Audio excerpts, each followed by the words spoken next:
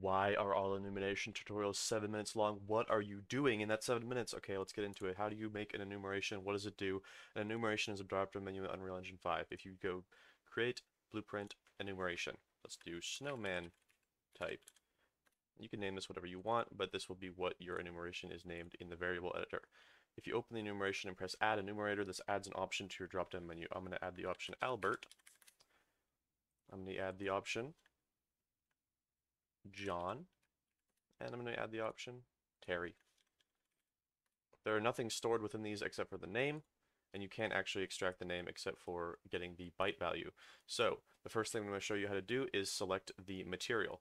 Um, you can select anything with these. I'm just showing you one thing you can do. So what you want to do is create a variable um, and then do enum type. And then for the variable type, search snowman type. Whatever you name this is what the type or what the uh, enum is going to be named. And then I would do uh, instance editable so that it's public. Um, then drag this out, get enum type. Then do select and return value just put into all of these materials so that it switches to the material type.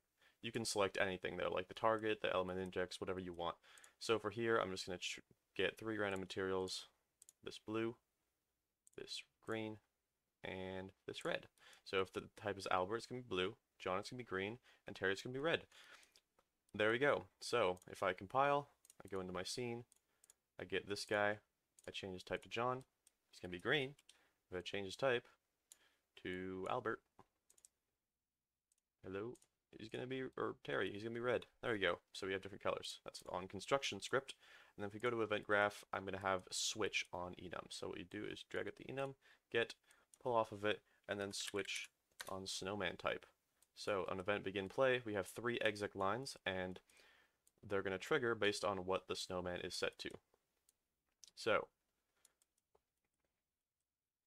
if it's an Albert, it's going to uh, disappear and do a, a, sparkling effect. If it's a Terry, it's going to do a voice line. If it's a John, it's going to be invisible and then appear and do a, an effect. So we start, he does his voice lines, and that guy disappears, and that guy appears. And that's all based on the public variable right here of what they are. Congratulations, you learned enumerations.